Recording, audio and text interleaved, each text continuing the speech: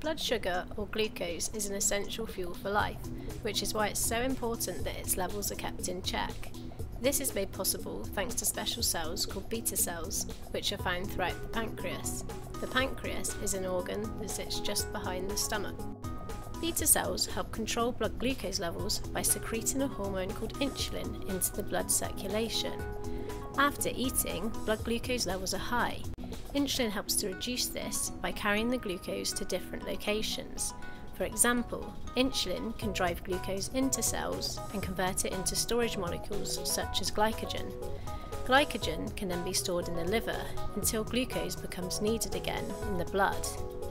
However, in order to trigger insulin release, glucose has to first enter the beta cell.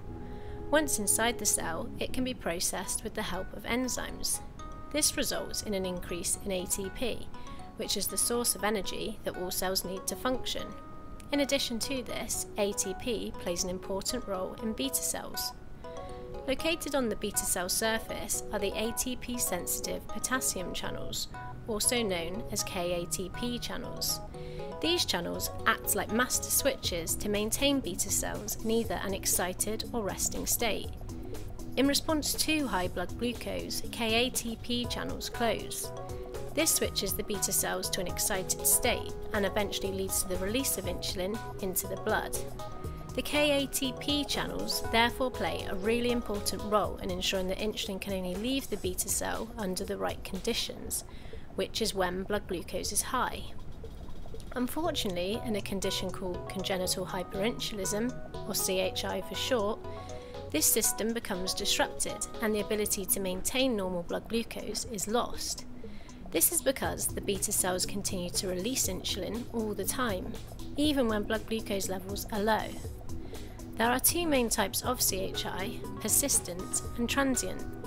Transient CHI usually resolves within a matter of weeks, whilst persistent CHI is a lifelong condition, further split into diffuse and focal forms. This video will focus on the diffuse form, whilst video 2 will explain focal and the differences between the two. In diffuse CHI, all beta cells throughout the pancreas are affected.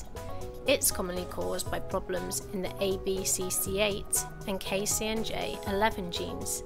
These genes normally act like instructions to support the correct assembly and function of the KATP channels in beta cells, but in CHI, the genes become faulty. This causes the KATP channels to remain permanently closed. This has a huge impact on the beta cells, as they normally rely on the KATP channel to know when to release insulin. Without their master switch, the beta cells never receive a signal to tell them to stop secreting insulin.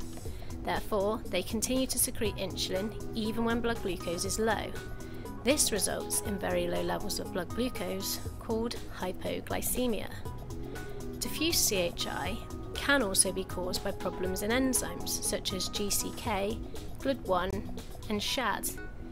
These enzymes normally work like catalysts to support glucose processing and again, problems here result in inappropriate insulin release.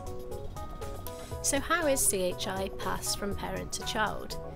We each have two copies of every gene in our body, one from our mum and one from our dad.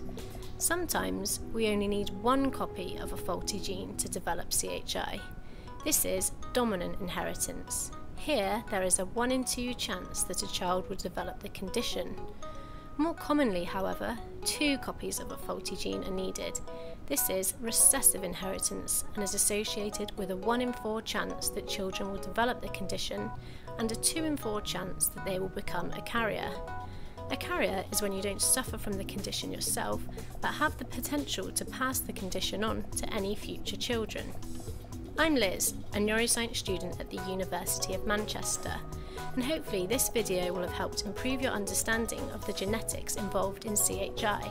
However, if you still have any unanswered questions, please don't hesitate to contact your local CHI care provider. See the next video to understand more on focal CHI.